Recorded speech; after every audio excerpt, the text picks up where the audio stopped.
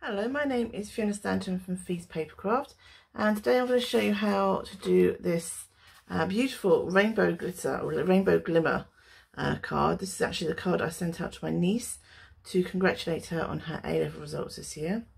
Um, so obviously this month's class is all about uh, slimline class uh, cards. So I'll just show you how I did this one quickly. So first of all, I'm going to stamp um, the hippo from the um, Hippo Happiness. It's a two-step uh, stamp. So I am going to start off with this piece. No, not. I'm going to start off with the... Uh,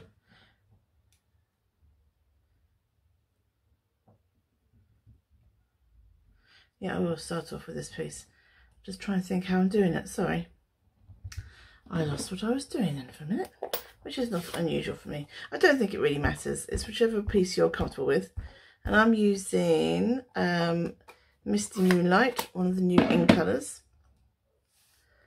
Let's stamp little hippo out. There we go. And then in Balmy Blue, I'm stamping out the second piece. Make sure that's nicely covered. And excuse if you see my head as I just try and line this up.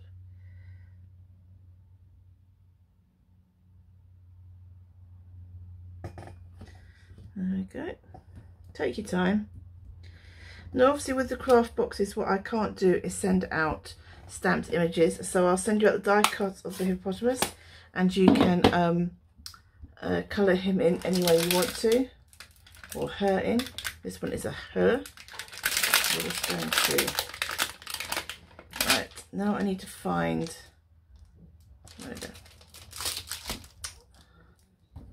And just with some memento, just fill in the face details. Okay, and again, take your time, line it up.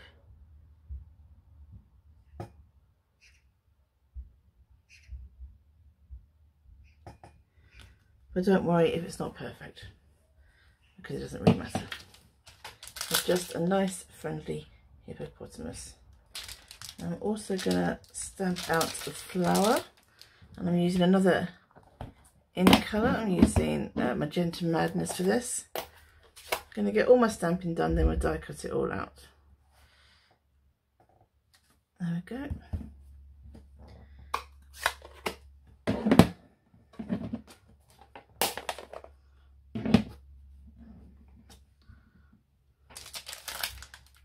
then finally, well not finally, the balloon.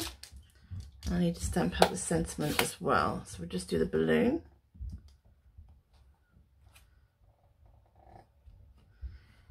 And that's in Bumblebee, another in colour. And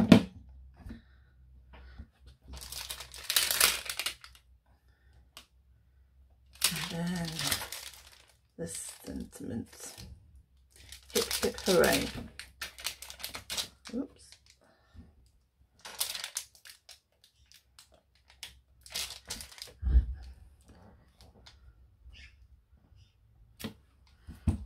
With photopolymer stamps, if you let them fall to your desk and pick them up from there, you'll know you won't have distorted them. It can be easy to distort um, uh, photopolymer stamps. They stretch and move around just the nature of the, the material. Let them drop to the desk like that and then pick them up can be helpful. So I've sorted all my dies out. I'm just going to die cut it out um, through the machine. Back with you in a minute. So I've got all my bits and pieces cut out. So now all I need to do is uh, layer it up and stick it all together. And get some glue. My children have been at my glue, so they're all a bit mucky and a bit the, the wrong way up. Hey ho, it's been the summer holidays.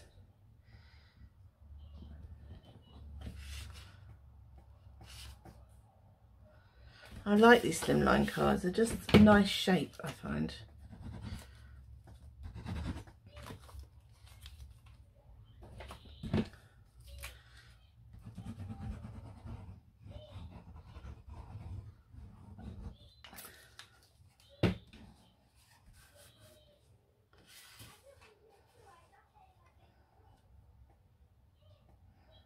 And it's a very simple card. And like I said, I used it for my niece who's um, 18. She got her A-level results. And she quite liked it. So, hopefully, it's not too young or too babyish. But it can be used for quite, quite a few different people, I think. Let's put the hippo down first. There's our hippo. And I'm going to dab a little bit of glue on the back of my hand. Also, just test this out, make sure there's nothing in the glue that you're allergic to before you do that. I know some people can be sensitive. I don't know if this is latex glue. I don't know what Tombow has in it. There you go. Or of course you could use the self-adhesive um, sticker sheets.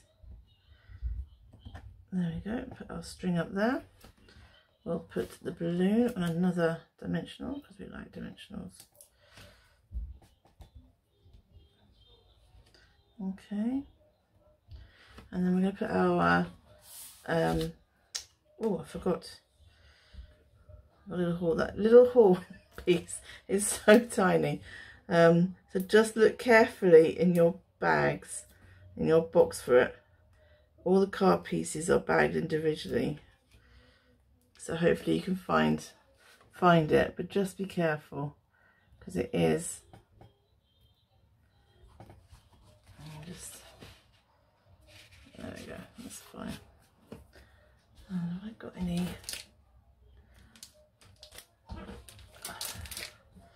Right. A mini one for the flower.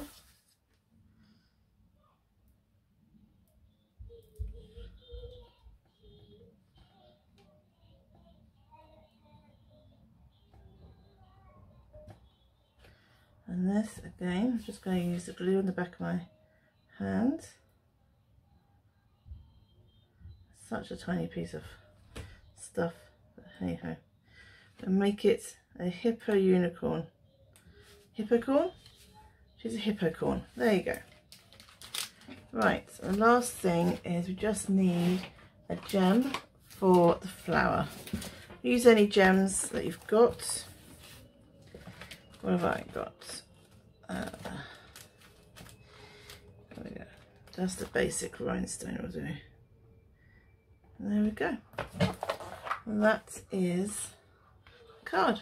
Very simple to do. Very quick and very easy. Thank you very much.